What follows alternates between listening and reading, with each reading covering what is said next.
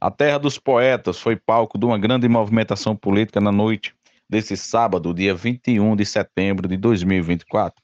O candidato a prefeito, o doutor Lula Soares, que tem na sua companheira de chapa, a doutora Isabela Moraes, candidata a vice, juntamente com todos os candidatos a vereadores da coligação, que pertence ao grupo político liderado pelo prefeito, doutor Gustavo Montenegro Soares, percorreram diversas ruas do nosso município numa grande motocada e carreata, que teve o seu encerramento no bairro Frutilândia, onde foi realizado um breve comício. Eita, Alex Silva Sul nos bastidores das eleições, juntamente com o Foco Coelho. Lula, uma multidão nessa, nessa noite de sábado, dia 21 de setembro, acompanhando vocês. Ah, com certeza. Maior motocada carreata da história porque de Açu, 21 de setembro.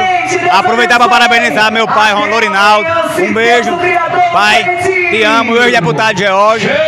De importante para a política de Açu. Muita gente na rua, muita, muita gente na caravana, muita gente nas calçadas para dizer que a sua é 10, que a sua vai avançar ainda mais. Isabela, você já tinha pensado em viver tudo isso que você está vivendo hoje?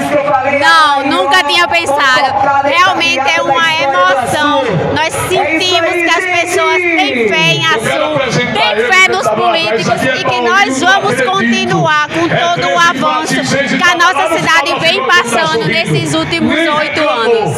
Lula, você nunca pediu voto na mesa de entrevista? Fica à vontade, peça o voto. A Sul, vote 10. Vote 10 para que a Sul continue avançando.